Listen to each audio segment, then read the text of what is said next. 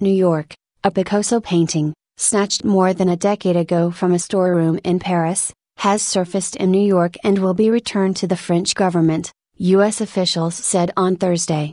The century old Cubist oil was smuggled into the United States last December from Belgium with a shipping label that described the contents as a handicraft holiday present worth 30 euros, $37.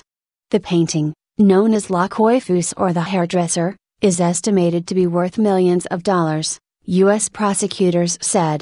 It was intercepted by U.S. Customs and subsequently seized by Homeland Security investigations.